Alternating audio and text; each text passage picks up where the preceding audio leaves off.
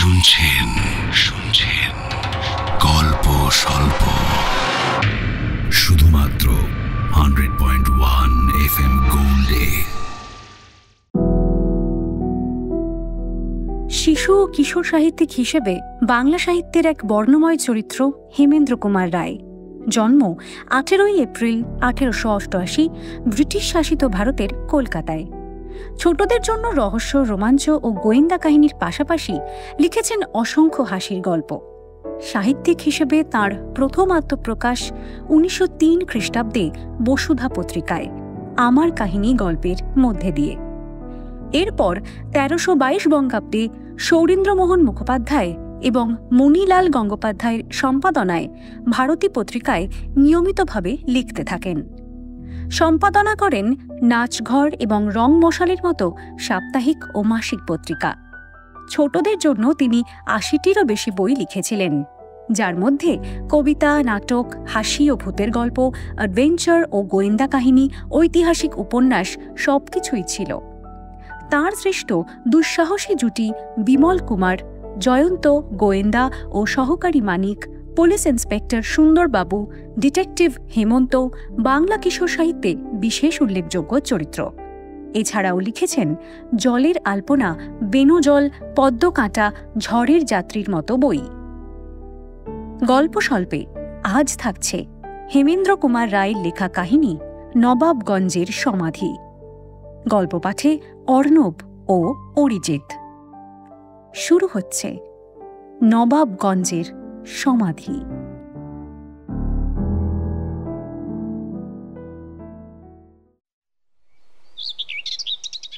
হাওয়া বদলাতে গিয়েছিলাম হাজারিবাগে। হাওয়া নিশ্চয়ই বদলালো, মন কিন্তু বদলালো না। বাসা পেয়েছিলাম শহরের ভেতরে। সেখানে কিছু কিছু গাছপালা থাকলে কি হয়? সেই ধুলো ভরা রাজপথের পর রাজপথ, দুধারে বাড়ির পর বাড়ি, অফ- অফিস, আদালত, হাট বাজার, পানের দোকান, মোটর, বাস, রিক্সা, লোকের ভিড়, হট্টগোল। এই যেন কলকাতার ক্ষুদ্র সংস্করণ। কাজের খাতিরে সব করা যায়, কিন্তু শখ করে এক শহর ছেড়ে আরেক শহরে আসার কোনো মানে হয় না। আমার বন্ধু বিপিন চন্দ্র, হাজারিবাগের ভক্ত। এখানে আগেও বার কয়েক ঢু মেরে গিয়েছে। বলল মাভুই এখনই হাল ছাড়বার দরকার নেই। বিকেলে আমার সঙ্গে বেড়াতে বেরিও ঠিক আছে? ধুলো খাওয়ার জন্য? হুম তাহলে? সত্যিকারের হাজারিবাগ দেখার জন্য। দেখো দশ বারো মাইল পথ হাঁটলে অনেক কিছুই দেখতে পাওয়া যাবে জানি। কিন্তু আমি অতটা কষ্ট করতে রাজি নই। মাইল তিন হাঁটতে পারবে? হ্যাঁ মাইল তিনেক পারব না কেন? খুব পারব। সে তো কলকাতার এপাড়া ওপাড়া তাহলে প্রস্তুত থেকো। আমি একদম ঠিক সময় চলে আসব। বিকেলে বিপিনের সঙ্গে বেরিয়ে পড়লুম। সে মিথ্যে বলেনি। মাইলখানেক যাওয়ার পরেই দৃশ্য পরিবর্তন আরম্ভ হল। তারপর যতই এগোই তত বেশি মুগ্ধ হয়ে যাই। আরও কিছুক্ষণ হাঁটার পর দাঁড়িয়ে পড়ে বিপিন প্রশ্ন করল তাহলে এখন কেমন লাগছে হ্যাঁ? চমৎকার অপূর্ব। অভিভূত না হয় উপায় নেই। দিকে দিকে নতন নত প্রান্তর তার উপর কোথায় হারিয়ে যায় বিহল দৃষ্টি? মাঝে মাঝে সৌন্দর্য সৃষ্টি করছে অরণ্যের শ্যামল ছন্দ। কল্পনার রহস্য বিচিত্র দুর্গের মতো দাঁড়িয়ে আছে পাহাড়ের পর পাহাড়। অনাদৃত নীল আকাশের সমগ্রতা এসে প্রবেশ করে দুই চোখের অন্তপুরে। এ যেন ছবির জগৎ। একটা বড় পাথরের ওপর বসে পড়ে বললুম হ্যাঁ এই হচ্ছে সত্যিকারের হাজারিবাগ। আজ তো প্রতিপদ বোধহয়। অন্ধকারের ভয় নেই। এখানে কিছুক্ষণ বসে থাকলে ক্ষতি হবে না। না ক্ষতি হওয়ার সম্ভাবনা কিন্তু দেখা দিয়েছে। মানে? কেন? আরে এটা হচ্ছে আষাঢ় মাস। আকাশের দিকে একবার তাকিয়ে দেখো। তাকিয়ে দেখলুম আকাশের এক প্রান্ত জুড়ে দেখা যাচ্ছে কাজল কালো মেঘ। বলল দেখো কালো মেঘ আবার ওর সাথেই বোধহয় ঝড় ঠিক আছে? এই মেঘ তো এখন অনেক দূরে। আরে না না আমাদের বাসাও তো আর খুব একটা কাছে নয়। আরেকদিন এলেই চলবে। চলো চলো আজকে উঠে পড়ি।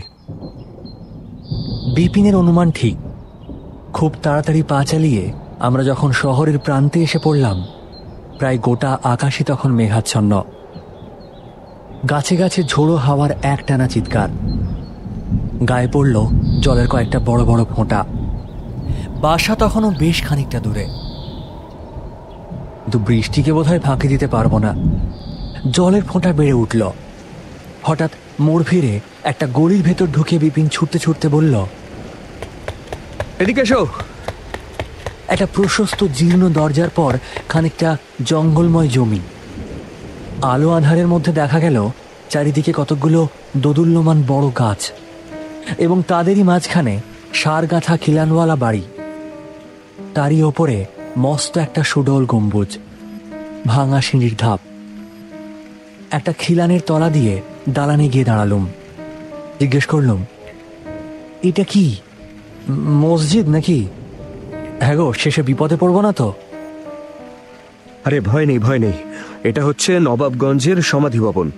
কার সমাধি সেটা ঠিক জানি না কিন্তু এখানে এখন কেউ থাকে না।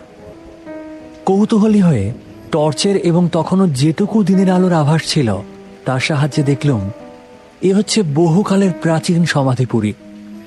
মলিন দেওয়ালগুলো যত্নের অভাবে কালের অত্যাচারে ক্ষতবিক্ষত হলেও এখনও ওখানে রয়েছে সূক্ষ্ম সুন্দর নকশার চিহ্ন। প্রচুর অর্থ ব্যয় করে সব দিকের মাপজোক ও ছন্দ বজায় রেখে শ্রেষ্ঠ কারিগর দিয়ে যে এই সমাধি মন্দির গড়ানো হয়েছে, সে বিষয়ে কোনো সন্দেহ নেই। আর এই সমাধি যে কোনো নবাব বা সম্ভ্রান্ত ব্যক্তির, তাও আন্দাজ করা কঠিন নয়। দালানের পরে দেওয়ালের গায়ে একটা কুলুপ দেওয়া দরজা, মূল সমাধিকক্ষের ভেতরে যাওয়ার পথ। চারদিকে বোধহয় জাফরি কাটা শ্বেতপাথরের পর্দা বা জানলা। পর্দায় জাফরির ছিদ্রগুলো ই বা কারা কাদামাটি দিয়ে বন্ধ করবার চেষ্টা করছে, যেন বাইরের কৌতূহলী চোখকে বাধা দেওয়ার জন্যই। কোনো কোনো পর্দার ওপর থেকে কাদামাটির প্রলেপ আবার খসে পড়েছে। একটা পর্দার ছিদ্রের ওপর টর্চ রেখে ভেতরে দৃষ্টি চালনা করলুম। ভালো করে দেখতে না পেলেও খানিকটা আন্দাজ করতে পারলুম। মাঝারি আকারের ঘর। মাঝখানের ঘরে একটা সমাধি বেদি বাকি সবটা জুড়ে শূন্যতা যেন থমথম করছে। কেবল এখানে, ওখানে, নিচে, অন্ধকার ফুড়ে কতকগুলো আলোর ফিনকি জ্বলছে। জ্বলছে আর নিভছে। ঠিক যেন জোনাকি। পর্দার ছেঁদার মধ্যে দিয়ে কতগুলো জোনাকি কি ঘরের মধ্যে ঢুকে পড়েছে? সেই মৃত্যুপুরীর অন্ধকারে জীবনের এই দীপ্তি যেন অস্বাভাবিক বলে মনে হল। বাইরে আকাশ যেন বলছে ভেঙে পড়ি। দিনান্তে শেষ আলোটুকু করেছে নিবিড় তিমিরের কোলে আত্মসমর্পণ।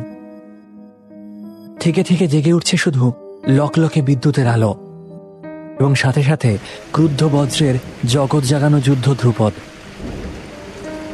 ঝড়ের প্রচণ্ড তাড়নায় সমাধি ভবনের আশেপাশের মস্ত মস্ত পুরনো গাছগুলো ঠিক যেন অতিকায় জীবের মতো ছটফট করতে করতে কোলাহল করছে। ভয়াবহ কোলাহল। আর ঝরছে হুড় হুড় করে অবিশ্রান্ত জল, ঝমঝম করে। যেন সৃষ্টি ভাসাতে চায় প্রলয় প্লাবনে। এমন বিষম বৃষ্টি জীবনে দেখিনি। এ হচ্ছে একেবারে অভাবিত। এক ঘণ্টা কেটে গেল। দু ঘণ্টা যায় যায়। তবুও বৃষ্টি থামল না। তার জোরও কমল না। শব্দ শুনেই বুঝলুম নিচেকার জমি ডুবিয়ে কলকল করে বন্যার প্রবাহ চলছে। বড় রাস্তা খুব কাছেই। কিন্তু সেখানে মানুষের একটুও সাড়া নেই। কিন্তু আমরা যেন পৃথিবীর বাইরে এসে পড়েছি। দুজনে দুই খিলানের মাঝখানটায় দেওয়ালে ঠেসান দিয়ে বসেছি। তবু কনকনে দমকা বাতাসের সঙ্গে সঙ্গে বরফের ঠান্ডা জলের ঝাপটা এসে হাড়ের ভেতরটা পুরো অসাড় করে দিচ্ছে।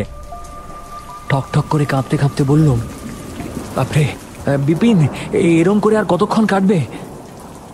কোনো সাড়া পেলুম না। বিপিন ঘুমিয়ে পড়ল নাকি? জোরে ডাকলুম "বে- বিপিন।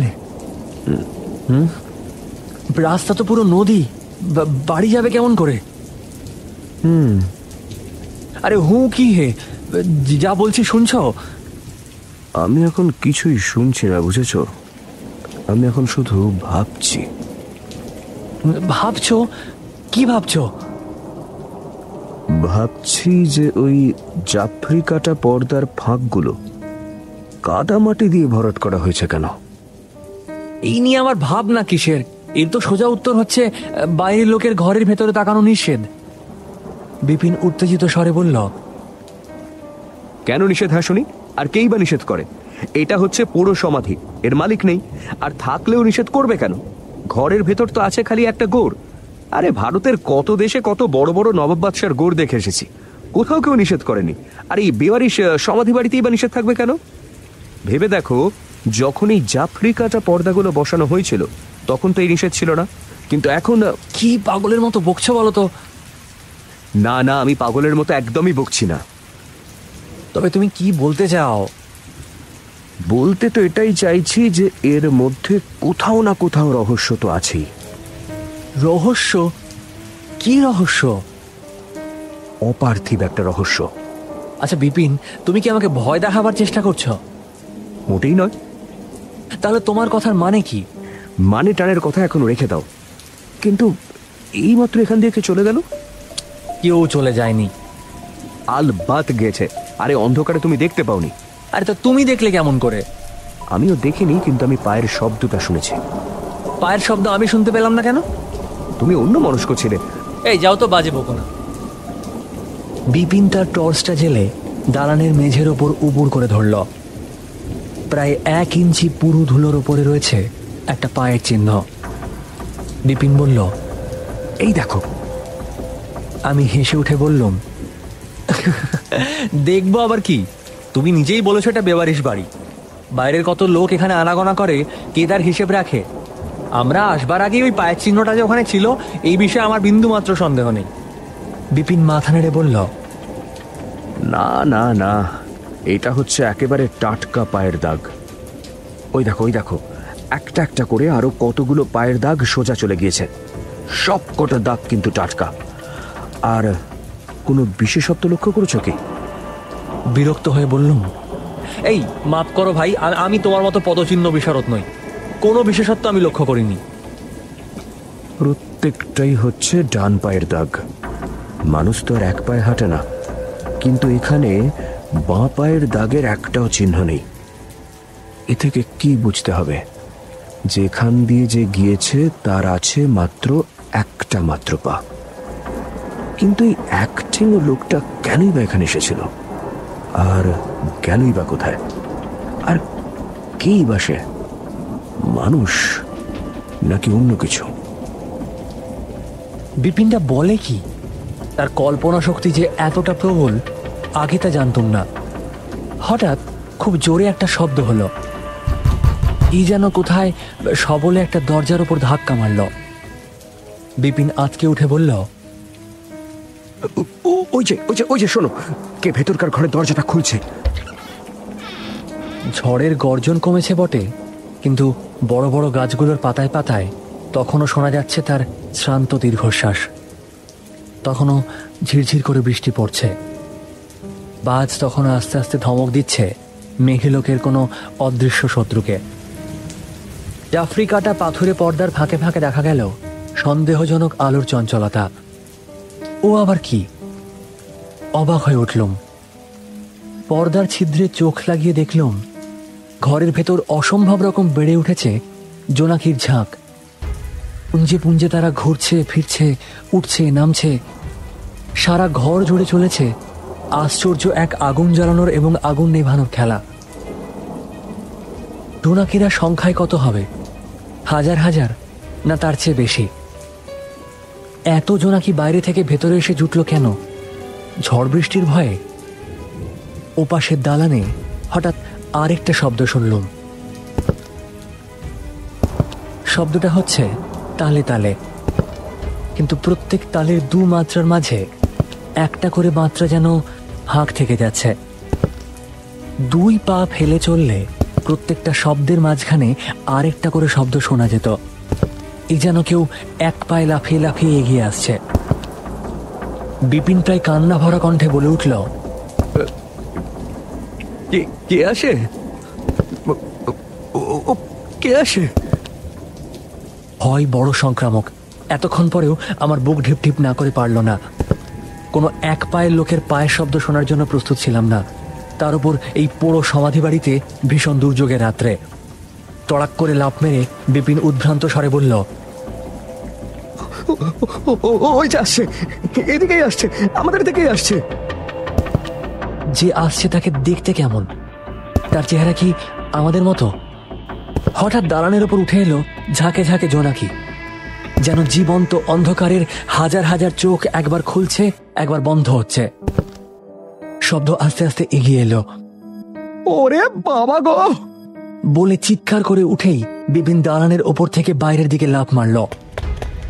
যেদিকে পায়ের শব্দ হচ্ছিল সেদিকে নিরন্ধ্র অন্ধকারের মধ্যে একবার দৃষ্টি নিক্ষেপ করে আমিও বিপিনের পন্থা অনুসরণ করলুম। তখনও শান্ত হয়নি বৃষ্টি স্নাত কালো রাত্রি।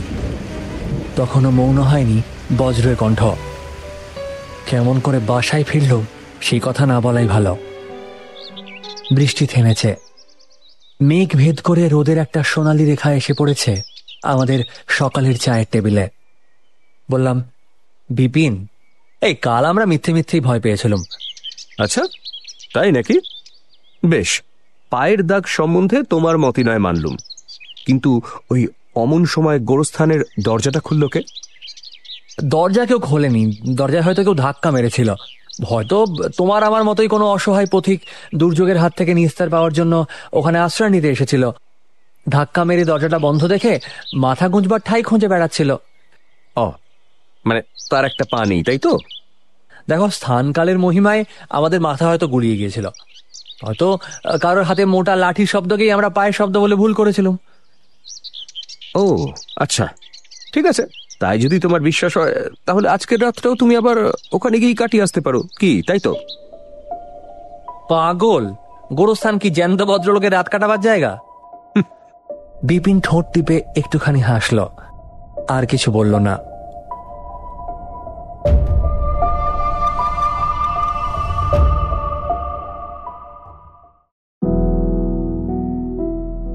গল্প স্বল্পে আজ শুনলেন নবাবগঞ্জের সমাধি। রচনা হেমেন্দ্র কুমার রায়। বিপিন অরিজিৎ। সম্পাদনা রিয়া।